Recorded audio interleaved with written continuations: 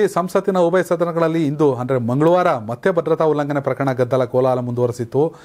ಈ ಹಿನ್ನೆಲೆಯಲ್ಲಿ ಲೋಕಸ, ಲೋಕಸಭಾ ಅಧ್ಯಕ್ಷರು ಲೋಕಸಭೆಯಿಂದ ಫಾರೂಕ್ ಅಬ್ದುಲ್ಲಾ, ಶಶಿ ತರೂರ್, ಮನೀಶ್ ತಿವಾರಿ, ಸುಪ್ರಿಯಾ ಸುಳೆ, ಮೊಹಮ್ಮದ್ ಫೈಜಲ್ ಕಾರ್ತಿ ಚಿದಂಬರಂ, ಸುದೀಪ್ ಬಂದೋಪಾಧ್ಯಾಯ, ಡಿಂಪಲ್ ಯಾದವ್ ಮತ್ತು ಡ್ಯಾನಿಶ್ ಅಲಿ ಸೇರಿದಂತೆ ಕನಿಷ್ಠ ನಲವತ್ತೊಂಬತ್ತು ಲೋಕಸಭಾ ಸಂಸದರ, ಸಂಸತ್ತಿನ ಚಳಿಗಾಲದ ಅಧಿವೇಶನದವರ ಅವಧಿಗೆ ಅಮಾನತುಗೊಳಿಸೋರೆ. ನಿನ್ನೆ ಒಂದೇ ದಿನದಲ್ಲಿ ದಾಖಲೆ ಎಪ್ಪತ್ತೊಂಬತ್ತು ವಿರೋಧ ಪಕ್ಷದ ಸಂಸದರನ್ನು ಸಂಸತ್ತಿನಿಂದ ಅಮಾನತುಗೊಳಿಸಲಾಗಿತ್ತು. ಇಂದು ಸೇರಿ ರಾಜ್ಯಸಭೆ ಮತ್ತು ಲೋಕಸಭೆ ಎರಡರಲ್ಲೂ ಈ ಅಧಿವೇಶನವನ್ನು ಅಮಾನತುಗೊಳಿಸಲಿರುವುದು ಒಟ್ಟು ಸಂಸದರ ಸಂಖ್ಯೆ ನೂರ ಎಪ್ಪತ್ತ್ಮೂರಕ್ಕೆ ಏರಿಕೆಯಾಗಿದೆ. ಇದು ಸಂಸತ್ತಿನ ಇತಿಹಾಸದಲ್ಲಿ ಇದುವರೆಗೂ ಅತ್ಯಧಿಕ. ಡಿಸೆಂಬರ್ ಹದಿಮೂರರಂದು ಸಂಸತ್ನಲ್ಲಿ ಭದ್ರತಾ ಲೋಪದ ಬಗ್ಗೆ ಗೃಹ ಸಚಿವ ಅಮಿತ್ ಶಾ ಹೇಳಿಕೆ ನೀಡುವಂತೆ ಭಾರತ ಬ್ಲಾಕ್ ಸಂಸದರು ಒತ್ತಾಯಿಸಿದ್ದರು.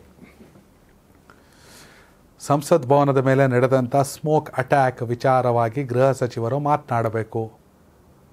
ಅನ್ನೋದು ವಿಪಕ್ಷಗಳ ಸಂಸದರ ವಾದ. ಅವ್ರು ಮಾತಾಡಲ್ಲ, ಅದು ಅವ್ರ ಇಷ್ಟ. ಮಣಿಪುರದ ವಿಚಾರವಾಗಿ ಪ್ರಧಾನಿ ಮಾತಾಡಬೇಕು, ಅವ್ರನ್ನ ಕರ್ಕೊಬರ್ಬೇಕು ಅಂತ ಏನೆಲ್ಲ ಮಾಡಿದ್ರು, ಎಲ್ಲರಿಗೂ ಗೊತ್ತು. ಹೀಗಾಗಿ ಅದನ್ನು ಪ್ರಶ್ನಿಸಿದ್ದಕ್ಕೆ, ಓಕೆ, ಇನ್ನು ಎಷ್ಟು ದಿನ ಐತೆ? ಇನ್ನೊಂದು ಮೂರು, ಐದಾರು ತಿಂಗಳು ಎಲೆಕ್ಷನ್ ಬರ್ತದೆ. ಆಮೇಲೆ ಮತ್ತೆ ಯಾರು ಸಂಸದರಾಗಿ ಒಳಿಕೋಯ್ತಾರೋ ಅವರಿಗೆ ಬರ್ತಾರೋ ನಮ್ಮ ದೇಶದ ವ್ಯವಸ್ಥೆ ಇದು.